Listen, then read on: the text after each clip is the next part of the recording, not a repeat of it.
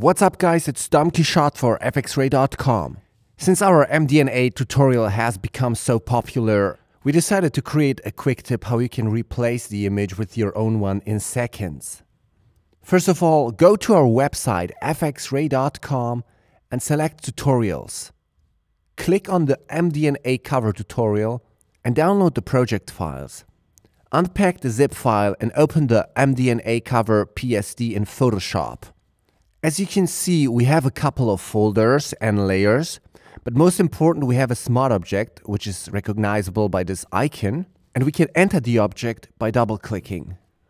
Now we have a new file with different layers, each layer for a glass panel, and we can edit the layers if we want to, but all of the layers refer to another smart object we can open by double clicking on any of the layers.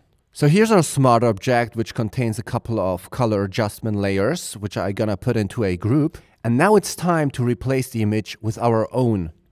I'm gonna select this one, select all and copy it and paste it above the folder. Position the image if necessary and I'm gonna rotate this one to make sure that the eyes are not in a line. Then go to File and select Close. A dialog will open and ask you if you want to save the changes. Press Save. And Photoshop now will update the previous smart object.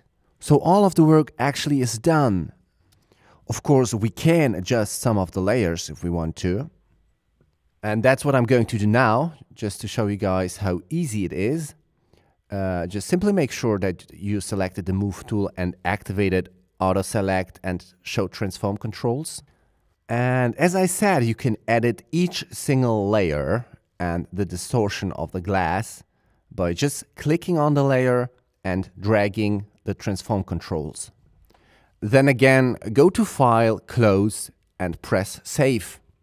Once again, Photoshop will update the smart object, but obviously there's a problem as you can see.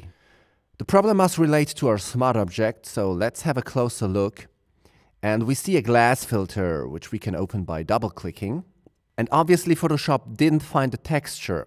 So load the MDNA cover texture and press OK. Now everything seems to be right. The only thing we should change is the name. So I'm just gonna use Dom. And that's it guys. I hope you enjoyed our quick tip. Take care.